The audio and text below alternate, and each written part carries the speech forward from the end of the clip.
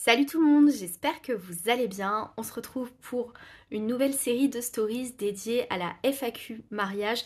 J'ai décidé de ne pas faire de longues vidéos parce que ça n'intéresse pas tout le monde, mais voici un retour en vidéo sur les questions que vous nous avez posées. Pour cette question, donc on a mis un an et quatre mois à organiser le mariage. À partir du moment où Tonton Pixie a fait sa demande, les préparatifs étaient déjà lancés. Et oui, euh, il y a eu pas mal de stress euh, sur tous les préparatifs, pas le jour J, mais beaucoup pendant les préparatifs.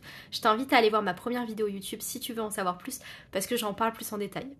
Donc je commence avec la première question qui nous a été posée, qui était quel était le thème de notre mariage?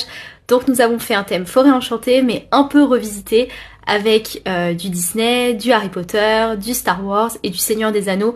L'idée était de choisir un maximum d'univers présents dans des forêts. On a un peu euh, détourné la règle, mais bon, dans l'idée c'était ça. Alors pour cette question, j'ai convié le principal intéressé. La question est, est-ce que j'ai dû te forcer pour le thème Disney? Euh, non, mais après c'est parce que si moi j'aime bien les Disney, même si je me considère pas comme un fan de Disney, euh, autant que toi, tu vois. Mais bon, non, du tout. En plus, il n'y avait pas que du Disney au final, il y a aussi du Seigneur des Anneaux, du Harry Potter, des trucs de la pop culture, quoi.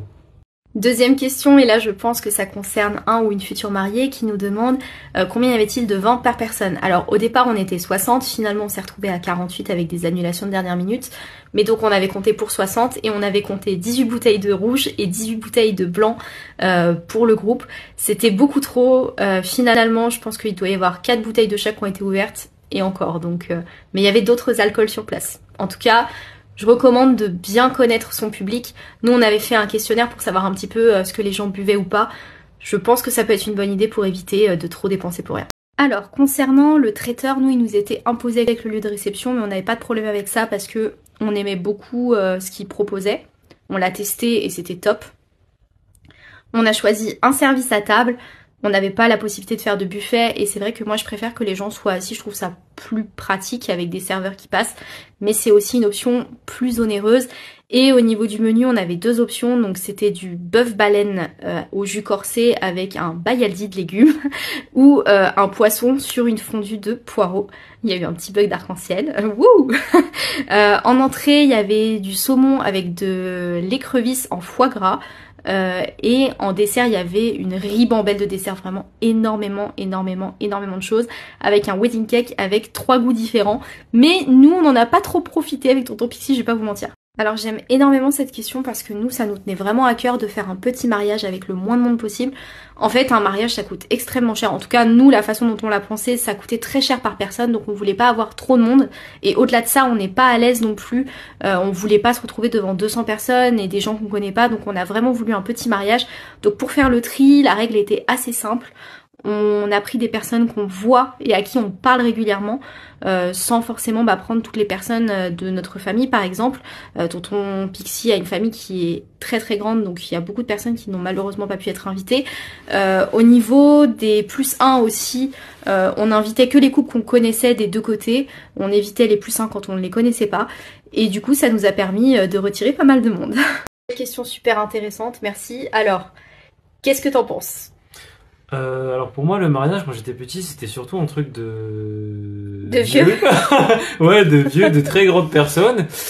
Et enfin, principalement, voilà, quand deux personnes s'aiment, c'est euh, la suite logique. Et euh, maintenant, bah, c'est juste qu'on est arrivé à cette étape-là de vie, même si je me sens pas vieux pourtant. Voilà. du coup, tu te projetais pas spécialement sur ce que ça pourrait être le mariage euh, quand t'étais petit? Non, pas particulièrement. Surtout qu'en plus j'ai eu la chance d'avoir mes parents qui étaient mariés et qui sont restés mariés. Donc euh, pour moi c'était juste euh, la normalité en fait. Ok. Tu vois. Bah moi pour moi le mariage je dirais que c'était la consécration d'une histoire, vraiment l'apothéose.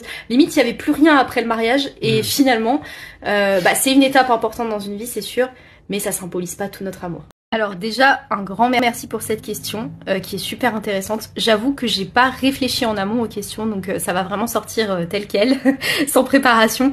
Je dirais que dans le mariage de mes rêves, je m'attendais pas du tout à me marier en hiver. Déjà, je m'étais toujours imaginé que je me marierais en été, donc finalement c'est quand même un cadre assez différent. J'imaginais un truc avec énormément de gens, enfin vraiment la démesure la plus totale, et surtout un thème 100% Disney, et finalement ça a pas du tout été le cas. Mais au final, c'est aussi parce que les goûts ont changé avec les années et je préfère largement la version qu'on a eue finalement. La question est, votre plus grande peur pour l'événement? Euh, Être au cœur de l'attention. Et euh, On avait un peu peur que les gens s'ennuient quand même. Hein. Ouais, aussi. Ça, ça nous effrayait, hein, qu'on soit ridicule. Même le mélange des cercles, tu vois, ça, ça c'était un peu effrayant. Euh... Quoi d'autre? Le froid. Et la première danse aussi. Ouais, la première danse, je pense que c'était le pire truc. Ouais, la première danse, ouais. D'où le fait qu'on n'ait pas fait de chorégraphie comme on en parle dans notre vidéo. Mais finalement, on peut le dire, hein, tout s'est bien passé. Ouais, ouais, ouais, totalement. Merci pour cette question aussi, tu te reconnaîtras. Euh, oui, j'ai bien profité, c'est passé à une vitesse folle, je pense que tout le monde le dit. Euh, mais vraiment, c'est passé à une vitesse folle. Par contre, oui, j'ai bien profité. Je pense que j'ai pas assez profité du buffet, comme on dit dans la dernière vidéo avec Tonton Pixie. Euh, mais j'ai quand même eu l'occasion de parler avec la majorité des invités présents. Euh, j'ai bien dansé, j'ai pu faire toutes les animations que je voulais, j'ai même eu le temps de faire des photos et tout. Donc globalement, je dirais que oui. Mais c'est aussi parce qu'on a commencé la journée à partir de 13h. Alors euh, oui, on avait un budget. Euh, après, en toute honnêteté, quand on commence à préparer les préparatifs du mariage et qu'ensuite on se rend compte de ce que coûtent réellement les choses, bah on se rend compte que le budget est pas forcément en adéquation. Donc soit on fait des choix, soit on augmente le budget. Nous, on a augmenté le budget. euh, mais on est resté en dessous de la barrière symbolique que j'étais pas prête à dépasser. Donc c'était un dépassement de budget plus ou moins maîtrisé, on va dire. Alors, nouvelle question par rapport au budget. Alors, nous, ce qui nous a explosé de budget, plus de 50% de la note, ouais, 60% je pense, euh, c'est le lieu de réception parce que on avait un forfait comprenant le lieu de réception, le traiteur et le DJ avec un service de coordination de mariage. Euh, et ensuite, le deuxième poste de dépense, le plus gros qu'on ait eu, c'est le photographe euh, pour 10 heures de présence et présent le vendredi et le samedi. Alors à ce niveau-là, oui. Euh, déjà, le timing n'était pas du tout comme je l'avais imaginé. On a été un peu dans le rush et un peu en retard. Au niveau des photos de groupe aussi, j'espérais avoir le temps d'en faire plus et c'est pas vraiment ce qui a pu se passer. Pour les photos de couple, euh, au niveau de celles qu'on a reçues, j'espérais en avoir euh, dans la forêt puisqu'on a eu l'occasion d'en faire et j'en ai eu très peu, j'en ai eu beaucoup plus euh, qui faisaient un peu photo de mannequins qui nous ressemblaient pas trop. mais je dirais que le plus gros quoi, en tout cas ce qui s'est le moins passé comme ce que je voulais, c'est le gâteau. moi je voulais un gâteau avec un esprit forêt, avec des copeaux de chocolat et le gâteau que j'ai eu, ça m'a vraiment pas plu et je l'ai découvert en direct vraiment au moment bah, du gâteau etc. Et il a fallu que je ne montre pas ma déception. Très franchement, des problèmes non, le mot est fort. Heureusement d'ailleurs on a eu beaucoup de chance là-dessus. Par contre, euh, je dirais que le plus gros regret, le plus gros bémol, enfin le truc qui nous a le plus frustré pendant cette soirée, c'est le DJ euh, qui n'était pas terrible, qui était imposé aussi malheureusement et qu'on n'a pas eu la chance de rencontrer avant. Et franchement il a un peu détruit l'ambiance. Alors heureusement euh, on a des proches qui ont quand même joué le jeu et qui sont venus nous danser avec nous. Mais c'est vrai que c'était un peu frustrant là-dessus quand même. Ceci dit, si je peux euh, apporter un petit complément euh, d'information, un petit euh, backstage, une galère que j'ai eue qui était quand même pas très facile à vivre, c'est que j'ai fait mes essais maquillage en octobre et je me trouvais vraiment pas belle, les boucles tenaient pas, enfin vraiment ça n'allait pas du tout. Et j'ai eu de la chance, enfin j'ai eu de la chance, c'est pas vraiment le mot, mais disons que j'ai décidé de refaire un essai euh, qui m'a coûté de l'argent mais qui finalement m'a permis de me rassurer, de savoir vraiment ce que je voulais ou pas, donc ça c'était chouette. Et euh, le jour J, j'ai euh, ma vidéaste qui est arrivée en retard, qui a raté tous mes préparatifs, mais en fait j'étais tellement pas stressée que je l'ai très bien vécu. Alors on est très honnête ici, évidemment que j'étais hyper déçue, euh, triste aussi, sachant qu'en plus de ça, euh, bah, au niveau du traiteur, quand tu donnes la réponse définitive, une fois que tu as payé, bah, tu peux pas récupérer l'argent et ça représentait quand même une certaine somme. Euh, maintenant, bah, pas d'autre choix que d'accepter. Certaines annulations ont eu lieu le vendredi pour le samedi aussi. Donc euh, j'ai essayé de prendre la décision à peu près 10 jours avant le mariage de me dire que ça devait pas nous atteindre, que certes ça nous rentrisse pendant 10 minutes, mais que ça devait pas entacher la joie du mariage. Et heureusement, on a réussi à tenir cette résolution et ça a pas gâché la, journée, heureusement.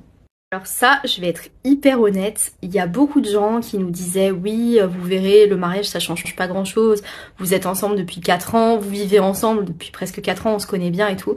Et franchement, moi je trouve que ça encore plus renforcer notre relation. Ça nous a fait passer une étape et je trouve que moi, en tout cas de mon côté, ça m'a fait avoir encore plus de bienveillance, de respect et d'amour pour euh, Tonton Pixie. Voilà. Et alors, je vais terminer cette session FAQ avec ces deux questions. Rendez-vous sur mon compte Instagram PixieTubeuse pour voir un maximum de contenu. À partir de maintenant, tout ce qui va être réel, photo, etc., ça va être sur mon compte Insta. Donc si ça vous intéresse, n'hésitez pas à aller voir. Il y a pas mal de choses qui arrivent. Je vous fais plein d'énormes bisous bisous et j'espère que ça vous a plu. Bisous